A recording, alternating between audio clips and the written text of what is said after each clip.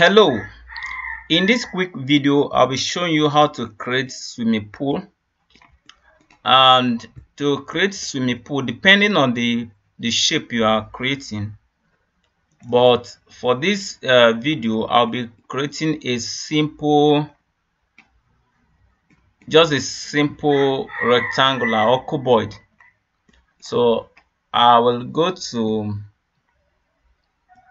component model in place select casework click ok click ok then select extrusion. Extrusion end should be something like 3000 and create a rectangle to the size you want. And the material should be swimming pool that is if you have swimming pool before if you don't have you can always create your material here and uh, let's go to 3d and see okay this is it here. So i need to go to one of the elevation and move it down. Let me go to rear. Okay this is it here. Let me select it then I'm going to move it down unconstrain it then select this joint so that you'll be able to move it. Let me drop it here so that it will go be below the the natural ground level. Okay. Then while you are still in editing mode you can see i'm still in editing mode you click on create uh, we are going to open it and this is what we use to open it void forms. Under this void forms you see extrusion and all the all other modeling techniques okay? But before we can really create an opening here the type of opening we want to create is um, whereby one side will be deeper than the other that is how swimming pool are designed. One side is deeper so that anyone that cannot go to the deeper end will stay at the shallow end. And for me to be able to do that i need to go to section. I need to be able to do the sketch on the section. Now you will see this um, reference plane I will be using this reference plane to be able to do my sketch.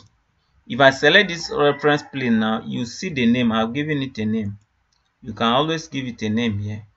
So that if you want to use it as your sketch plane, as your work plane, you can be able to use it as your work plane. Okay, let me go to this section now. I, I am on that section. So I will simply select this and hit edit and while in editing mode I am going to select void extrusion. I will select void extrusion. And now I am going to select that reference plane I've used before and click OK. Then I will use um, negative 45 negative 45 and sketch. The reason for negative so that it will have an offset inside. If i do not put negative the offset will be outside. Okay so let me move this one up a little bit. And this one up small. And uh, I'm going to pick a curve because I want that end to be shallow. I want this end to be shallow and this side deeper. Then I will trim this and finish it. Let's look at it in 3D. Let me select the void extrusion and stretch it inside. Then in some cases it will require you for you to use uh, this cut. But if it does not require it it is still okay. And uh, finish it. Now you have our uh, swimming pool there but the grass is blocking it so let me open the grass. To open the grass is simple. Simply click on edit and create another sketch that will cut it that will open it. If i create another sketch now it will open the the grass. Let's look at it. It has opened the grass now. Then there is another another thing that is also blocking and that is the pavement. Let me open the pavement as well i'll go to simply create another sketch and that one will open it up and let's finish it. You can now see our swimming pool proper now okay? The next thing we want to create is the water. We want to create the water. To create the water is very simple. You will simply I think I created water before. You will simply go to the floor plan and select extrusion and simply create a sketch. And the depth this time around can be 20 mm and the material should be water.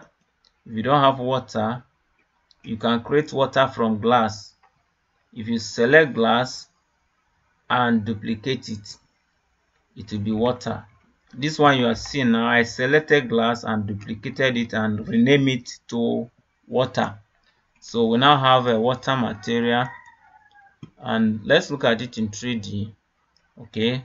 So this is our water. It's just a thin extrusion. If i go to one of the elevation i can move it up. Let me go to one of the elevation and move it up. To move it select move then unconstrain it and let disjoin be selected and simply move it up a little bit. Okay and finish it. Let's go to 3d here is our water.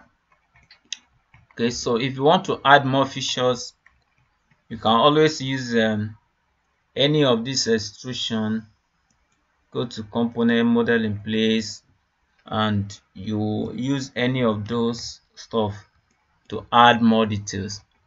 And i hope with this you'll be able to create your swimming pool with ease. If you need further further explanation don't hesitate to contact me. Thank you for watching this video and see you in the next video. Bye